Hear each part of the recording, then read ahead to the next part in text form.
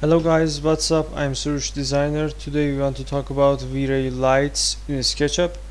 So uh, I'm gonna use V-Ray version 6 in here and we have the uh, V-Ray light box in here. I can delete it and you can add this toolbar from here and check item about V-Ray lights in here.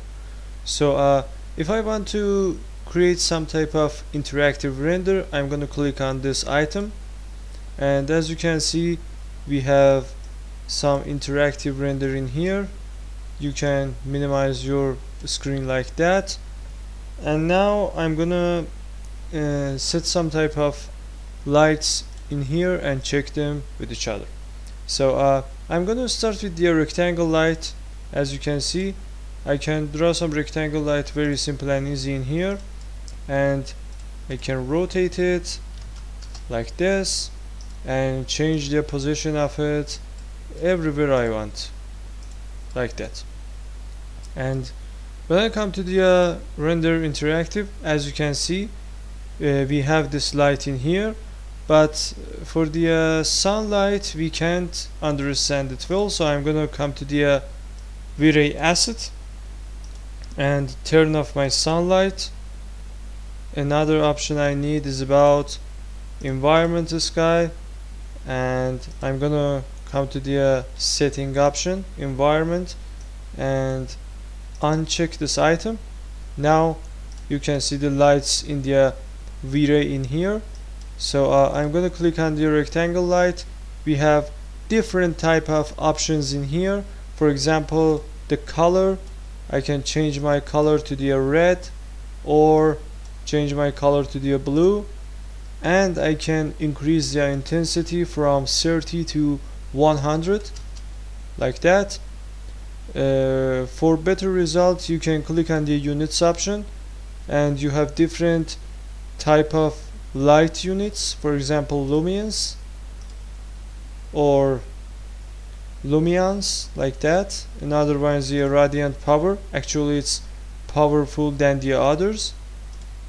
And another is radiance so uh, you can change the shape of your light. For example you can change it from rectangle to the disc light like that. And you can change the size of it. Very simple and easy. And you and when you change your size actually the real size in the, uh, the SketchUp model has been changed.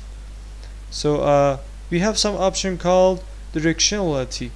As you can see if I increase this option the light focus on the one point and it's usually used for spotlights and we don't need it here. Another option we have is the invisible. When I click on it as you can see we only see the uh, light and we don't see the light source and lights object in here.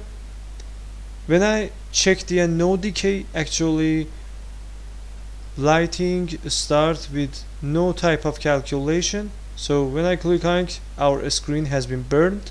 So I always turn it off for the shadows if I turn it off actually shadows disable on my screen. So I don't need it in here. I want shadows.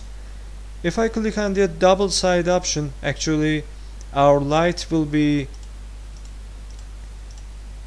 act in double side like this and another options we have is about affect diffuse. When I decrease it actually the light's intensity come down. And specular is about the uh, when I decrease it as you can see some type of little bit reflections and refractions on the surfaces. And another time is the uh, reflection. Actually reflection and specular work with each other. So I'm gonna set it on the uh, 1 and the atmospheric is about the uh, light's energy in the uh, environment and the text resolution is not important. So as you can see we can create some type of lights in V-Ray 6 very simple and easy and you can change your render setting in the uh, setting and turn on the material override for better results in lighting. I hope you enjoyed this video like and subscribe don't forget it and goodbye